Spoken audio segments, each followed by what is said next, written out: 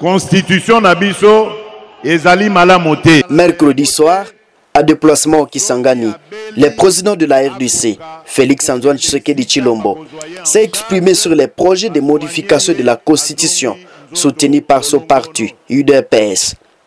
Le président a parlé des textes, je cite, du passé et a annoncé l'ouverture des travaux l'an prochain avec une modification du texte fondamental. Les projets suscitent de vives réactions. La plupart récente est celle de la Conférence nationale épiscopale du Congo, CENCO. Monseigneur Donatien Cholet, secrétaire général de cette organisation des prêtres catholiques, s'est dit confiant. Pour l'instant, il ne s'agit que des projets. En tout cas, nous trouvons que c'est une, euh, une question, pour reprendre les mots des évêques, qui peut déstabiliser le pays.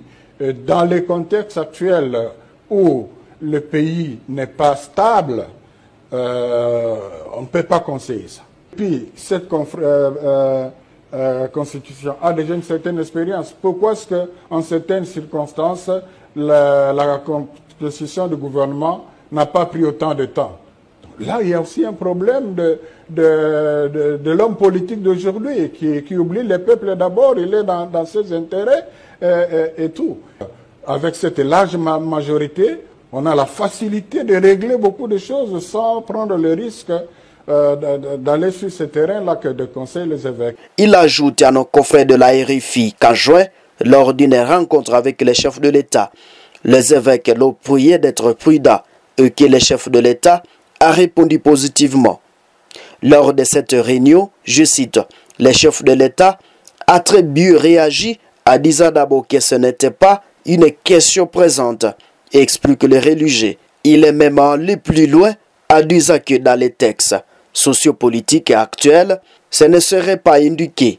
Et puis, il a aussi ajouté qu'il n'a pas l'intention de s'éterniser au pouvoir, mais entendre les discours des ténors de sa famille politique et l'évolution de la chose, c'est peu préoccupant, a-t-il déclaré. Pour Martin Fayoulou, président du parti politique Engagement pour la citoyenneté et le développement, UCD, a réagi vendredi 25 octobre 2024 à la position de Félix Tshisekedi, qui s'est récemment montré favorable à la révision de la constitution. Pour l'opposant congolais, Félix Tshisekedi joue avec le feu. Martin Fayoulou prévient qu'ils ne les laisseront pas toucher à la constitution. Il n'y a pas d'opportunité. Donc il n'y a aucun article aujourd'hui de la Constitution qui empêche quelqu'un de compétent, quelqu'un de capable de travailler. M. Tshisekedi est simplement incapable. Il est incompétent et il trouve des subterfuges. Mais il n'aura pas.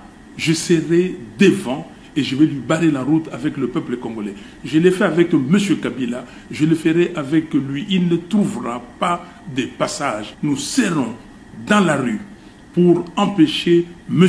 Tshisekedi de toucher à notre constitution. S'il est incapable, qu'il le dise, qu'il démissionne.